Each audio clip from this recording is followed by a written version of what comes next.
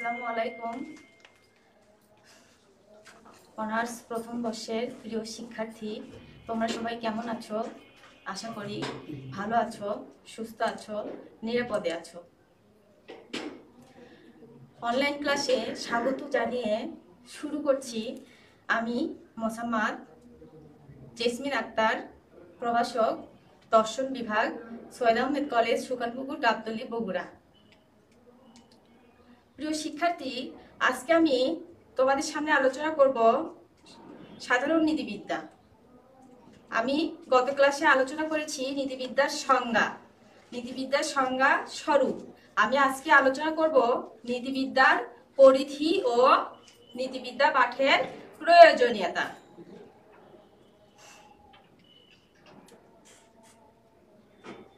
তাহলে নীতিবিদ্যার পরিধি। প্রত্যেক বিজ্ঞানী একটি নির্দিষ্ট কি? প্রত্যেক বিজ্ঞানী একটি নির্দিষ্ট বিষয়বস্তু এবং তার সাথে সংযুক্ত অন্যান্য আনুষঙ্গিক বিষয়সমূহ নিয়ে আলোচনা করে।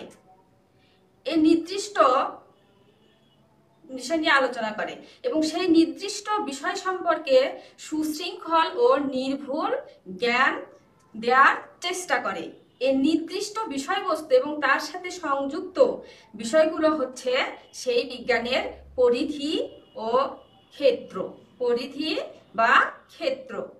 অন্যান্য বিজ্ঞানের মতো নীতিবিদ্যাও একটি নির্দিষ্ট আলোচ্য বিষয় এবং তার সাথে সংযুক্ত কতগুলো আনুষঙ্গিক বিষয় নিয়ে আলোচনা করে। এগুলোই হচ্ছে কি নীতিবিদ্যার আলোচ্য বিষয়। নীতিবিদ্যার পরিধির মধ্যে আমরা দেখব নীতিবিদ্যা ঐচ্ছিক বিষয় নিয়ে আলোচনা করে। নীতিবিদ্যা কি করে? ঐচ্ছিক বিষয় নিয়ে আলোচনা করে। মানুষের আচরণের নৈতিক মূল্য ও আদর্শ নির্ধারণ করা নীতিবিদ্যার কাজ। মানুষের আচরণের নৈতিক মূল্য। নীতিবিদ্যার কাজই হচ্ছে মানুষের আচরণের ভালোত্ব, মন্দত্ব বিচার করা। মানুষের আচরণের নৈতিক মূল্য ও আদর্শ নির্ধারণ করা কি নীতিবিদ্যার কাজ? তবে নীতিবিদ্যায় মানুষের আচরণ বলতে আমরা তার ঐচ্ছিক ক্রিয়াকেই বুঝি, অনৈচ্ছিক ক্রিয়াকে নয়। সুতরাং নীতিবিদ্যা শুধু মানুষের ঐচ্ছিক ক্রিয়ায় বিচার করে। নীতিবিদ্যা শুধু মানুষের ঐচ্ছিক ক্রিয়ায় বিচার করে। ঐচ্ছিক ক্রিয়ার স্বরূপ কি? ঐচ্ছিক ক্রিয়ার সাথে অনৈচ্ছিক ক্রিয়ার পার্থক্য কোথায়? ঐচ্ছিক ক্রিয়ার ধাপগুলো কি কি? ঐচ্ছিক ক্রিয়ার উৎস, উদ্দেশ্য, অভিপ্রায় ঐচ্ছিক ক্রিয়ার সাথে সংশ্লিষ্ট কামনা প্রভৃতি নীতিবিদ্যার কি আলোচ্য বিষয়ের অন্তর্ভুক্ত? নীতিবিদ্যার প্রাথমিক কাজ হলো ক্রিয়ার নৈতিক গুণ পর্যবেক্ষণ করা। ক্রিয়ার নৈতিক গুণ পর্যবেক্ষণ করা এবং তার নৈতিক বিচার করা। এখন নৈতিক বিচার হলে নৈতিক বিচার করতে হলে আমাদের জানা দরকার নৈতিক বিচার বলতে কি বোঝায়? নৈতিক বিচারের কর্তাকে নৈতিক বিচারের বিষয় কি? নৈতিক বিচারের বৃত্তি কি? তার স্বরূপ কি? এসব প্রশ্নের সমাধানের, এসব প্রশ্নের সমাধানের প্রচেষ্টা নীতিবিদ্যা কি? আলোচ্য বিষয়ের অন্তর্ভুক্ত। নীতিবিদ্যা মানুষের আচরণের নৈতিক মূল্য বিচার করে। এ মূল্য বিচার করা হয় একটি আদর্শের মাপকাঠিতে। নীতিবিদ্যা কি করে? মানুষের নৈতিক আদর্শ, আদর্শের কি? নৈতিক মূল্য বিচার করে। মানুষের আচরণের নৈতিক মূল্য বিচার করে। আর এই মূল্য বিচার করা হয় কি? একটি আদর্শের মাপকাঠিতে। যে কাজ ওই আদর্শের সাথে সঙ্গতিপূর্ণ, তাকে ভালো। আর যে কাজ ওই আদর্শের সঙ্গে অসঙ্গতিপূর্ণ, সে কাজ কি? আমরা সে কাজকে মন্দ বলে অভিহিত করি। সে কাজকে আমরা কি করি? মন্দ বলে অভিহিত করি। নীতিবিদ্যার অন্যতম প্রধান কাজ হলো এই আদর্শের কি? স্বরূপ নির্ধারণ করা। এই আদর্শের স্বরূপ নির্ধারণ করা। এই আদর্শটি কি? এবং তার স্বরূপ কি? সে বিষয়ে নীতিবিজ্ঞানীদের মধ্যে কি রয়েছে? মতভেদ রয়েছে। কারও মতে নিয়ম বা বিধি হচ্ছে নৈতিক আদর্শ। কারও মতে কি? নিয়ম বা বিধি নৈতিক আদর্শ। কেউ কেউ সুখ এবং শান্তিকে নৈতিক আদর্শ হিসেবে গ্রহণ করে। কেউ কেউ কি সুখ এবং সুখ বা শান্তিকে নৈতিক আদর্শ হিসেবে কি করেন? গ্রহণ করেন। আবার কারও মতে আত্মোপলব্ধি বা পূর্ণতা হচ্ছে নৈতিক আদর্শ। আত্মোপলব্ধি বা পূর্ণতা হচ্ছে নৈতিক আদর্শ। নীতিবিদ্যার কাজ হলো এই মতবাদগুলোকে ব্যাখ্যা করা এবং এর মধ্যে কোনটি গ্রহণযোগ্য তা নির্ধারণ করা। সুতরাং নৈতিক আদর্শ বা মানদণ্ড সম্পর্কিত বিভিন্ন মতবাদের আলোচনা কি নীতিবিদ্যার আলোচ্য বিষয়ে অন্তর্ভুক্ত। এরপর আমরা দেখব নৈতিক বাধ্যতাবোধ। ঐচিত্য ও অনৈচিত্য বোধের সাথে নৈতিক বাধ্যতাবোধ বিশেষভাবে জড়িত।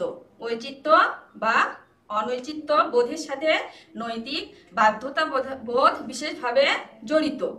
আমরা যখন কোনো কাজকে ভালো বলে মনে করি তখন তা করার জন্য এবং মন্দ বলে মনে করি, তখন তা পরিহার করার জন্য আমাদের মধ্যে এক ধরনের কি?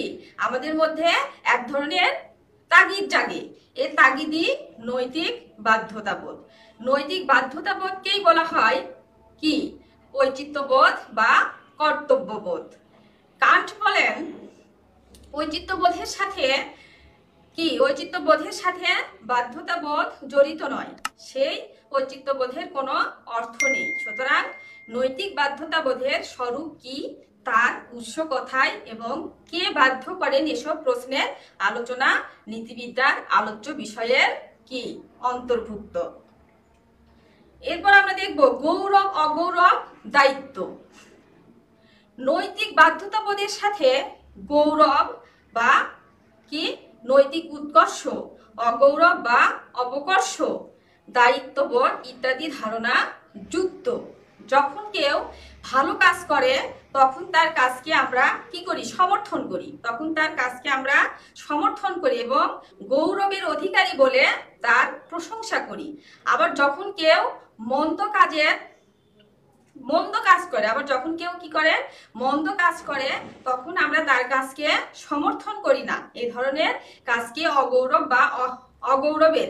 এ ধরনের কাজ আমরা কি করি? অগৌরব বা অপকর্ম বলে আমরা তার নিন্দা করি।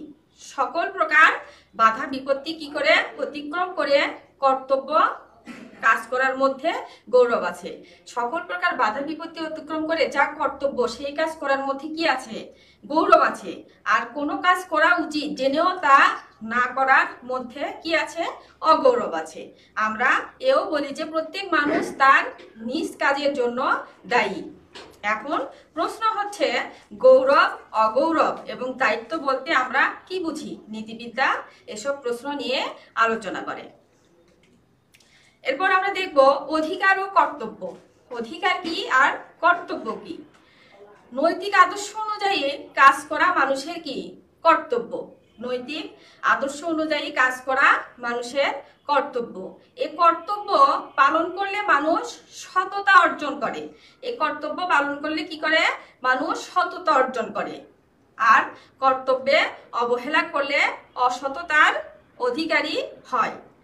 অপরদিকে কর্তব্য অধিকার পরস্পর কি ঘনিষ্ঠভাবে সম্পর্কিত? একজনের কাছে যা কর্তব্য কি? একজনের যা কর্তব্য, অপরের তা অধিকার। পিতার যা কর্তব্য, পুত্রের তা অধিকার। সুতরাং কর্তব্য নিয়ে আলোচনা করতে গেলে অধিকার সম্পর্কেও আমাদের কি করতে হবে? আলোচনা করতে হয়। কাজী, অধিকার, কর্তব্য, সততা, অসততা প্রভৃতি বিষয়, নীতিবিদ্যার আলোচ্য বিষয়ের কি অন্তর্ভুক্ত? এরপর আমরা দেখব স্বীকার্য ও কর্তব্য, স্বীকার্য ও কর্তব্য। প্রত্যেকটি বিজ্ঞানের কতগুলো কি? কতগুলো অস্বীকার্য সত্য থাকে। স্বীকার্য সত্য বলতে এমন কতগুলো ধারণাকে বুঝায় যাকে পূর্বেই স্বীকার করে না নিলে ওই বিজ্ঞানের পক্ষে তার বিষয়বস্তুর আলোচনা সম্ভব নয়। অন্যান্য বিজ্ঞানের মতো নীতিবিদ্যারও কতগুলো কি রয়েছে? স্বীকার্য সত্য রয়েছে। ব্যক্তির সত্তা বা ব্যক্তিত্ব, বিচার বুদ্ধি ইচ্ছার স্বাধীনতা প্রভৃতি নীতিবিদ্যারও স্বীকার্য সত্য। ইচ্ছা স্বাধীনতা আছে বলেই আমাদের কর্মের নৈতিক বিচারের প্রশ্ন ওঠে। নীতিবিদ্যা এ সকল স্বীকার্য সত্য নিয়ে কি করে? আলোচনা করে। তারপর আমরা দেখব নৈতিক ভাবাবেগ। নৈতিক ভাবাবেগ। আমরা যখন ভালো কাজ করি, তখন আমাদের মনে একটা কি? প্রীতির ভাব জাগে। যখন আমরা কোনো ভালো কাজ করি, তখন আমাদের মনে একটা প্রীতির ভাব জাগে। অপরদিকে মন্দ কাজ করলে কি হয়? অপ্রীতির ভাব জাগে। আমাদের মনের এই অবস্থাকে বলা হয় নৈতিক ভাবাবেগ। আমাদের মনের এই অবস্থাকে কি বলা হয়? নৈতিক ভাবাবেগ। নৈতিক ভাবাবেগ নৈতিক চেতনার অনুভূতিমূলক উপাদান। নীতিবিদ্যায় এই নৈতিক ভাবাবেগের ভাবাবেগের স্বরূপ উৎস নৈতিক বিচারের সাথে এর সম্পর্ক প্রভৃতি বিষয় নিয়েও আলোচনা করা হয়। তারপর আমরা দেখব নৈতিক বৃত্তি। যে শক্তি বা ক্ষমতার দ্বারা আমরা কর্মের নৈতিক গুণ নির্ধারণ করি, তাকে বলা হয় নৈতিক বৃত্তি। কি? যে শক্তি বা ক্ষমতার দ্বারা আমরা কর্মের নৈতিক গুণ কি করি? নির্ধারণ করি, তাকে বলা হয় নৈতিক বৃত্তি। বাংলায় আমরা যাকে বলি কি? বিবেক। বাংলায় আমরা যাকে কি বলি? বিবেক বলি। এই বিবেকের উৎপত্তি ও সম্পর্কিত যে সকল মতবাদ আছে, নীতিবিদ্যা, তা নিয়েও আলোচনা করে। তারপর আমরা দেখব নীতিবিদ্যা ও অন্যান্য বিষয়। নীতিবিদ্যার সাথে কতগুলো বিষয়ের কি প্রাসঙ্গিক সম্পর্ক রয়েছে। এ সকল বিষয়ের কি কোনো কোনো সমস্যা নীতিবিদ্যায় আলোচিত কি হয়ে থাকে? আলোচিত হয়ে থাকে। যেমন মনোবিজ্ঞান, দর্শন, সমাজবিজ্ঞান ও রাষ্ট্রবিজ্ঞানের কিছু কিছু সমস্যা নিয়ে নীতিবিদ্যা কি করে? আলোচনা করে। মনোবিজ্ঞানের যে সকল বিষয় নিয়ে নীতিবিদ্যা আলোচনা করে তা হলো ঐচ্ছিক ক্রিয়া। ঐচ্ছিক ক্রিয়ার উৎস, ইচ্ছার স্বাধীনতা ইত্যাদি। দর্শনের আলোচিত বিষয়ের মধ্যে রয়েছে কি? মানুষের সত্তা, ইচ্ছা, স্বাধীনতা, আত্মার অমরত্ব, এগুলো বিষয় নিয়েও কি কি করে? ইত্যাদি বিষয় নিয়ে নীতিবিদ্যা আলোচনা করে। আবার কি সমাজের সাথে সমাজবিজ্ঞানের আলোচ্য বিষয় ব্যক্তির সাথে ব্যক্তির সাথে সমাজের সম্পর্ক, সমাজবিজ্ঞানের আলোচ্য বিষয় হলেও নীতিবিদ্যার সম্পর্ক নিয়েও আলোচনা করে। রাষ্ট্রবিজ্ঞানের যে সকল বিষয় নিয়ে নীতিবিদ্যা আলোচনা করে, তা হলো কি? ব্যক্তির সাথে রাষ্ট্রের সম্পর্ক, রাষ্ট্রের নৈতিক ভিত্তি ইত্যাদি। তাহলে আমরা কি দেখলাম? নীতিবিদ্যার পরিধি দেখলাম। এখন আমরা দেখব কি? নীতিবিদ্যা পাঠের প্রয়োজনীয়তা। মানুষের নীতিবিদ্যা পাঠের তাহলে গুরুত্ব কতটা রয়েছে, আমরা এখন সেটা দেখব।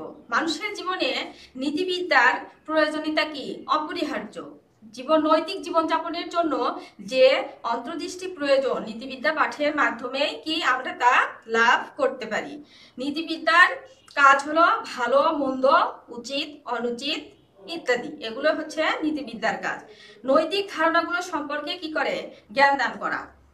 নৈতিক ধারণা সম্পর্কে জ্ঞান দান করা নীতিবিদ্যার কাজ। এটি মানুষকে সততা, অসততা সম্পর্কে কি করে? ধারণা দেয়। নীতিবিদ্যা পাঠের প্রয়োজনীয়তাকে আমরা কি দুদিক থেকে আলোচনা করতে পারি? আর একটি হচ্ছে, আর এক নাম্বার হচ্ছে প্রথমত নর্থক বা ধ্বংসমূলক দিক এবং দ্বিতীয়ত সদর্থক বা গঠনমূলক দিক। তাহলে নীতিবিদ্যা পাঠের কি দেখব আমরা এখন? নর্থক দিক।